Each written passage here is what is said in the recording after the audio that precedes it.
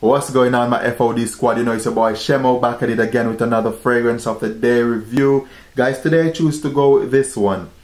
Leather Noir from Flavia Perfumes. This one, it is an eau de parfum concentration and it is from the Dominant collection.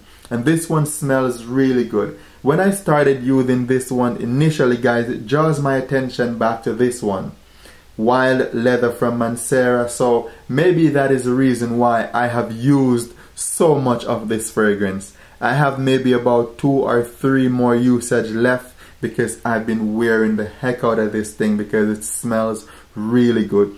So I thought it was an inspiration from this one, but I realized that there are two different fragrances, guys. This one is more subtle while it does have the leather boozy card to it and it is also musky and vanillic.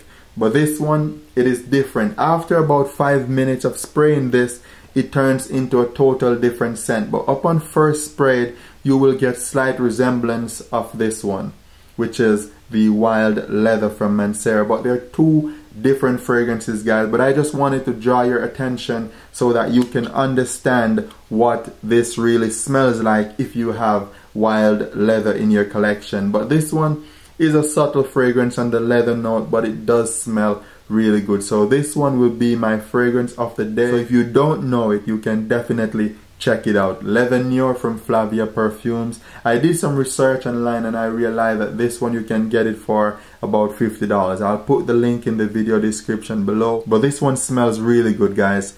Leather, boothiness, musk and vanilla. So that's my fragrance for the day guys. Leather noir from flavia perfume. Hit me up in the comment section below. Let me know what fragrance or fragrances you will be rocking as your scent of the day. And as always i'm your boy shemmo. Don't forget to like comment and subscribe to the channel for future videos. And i'll see you in the next one.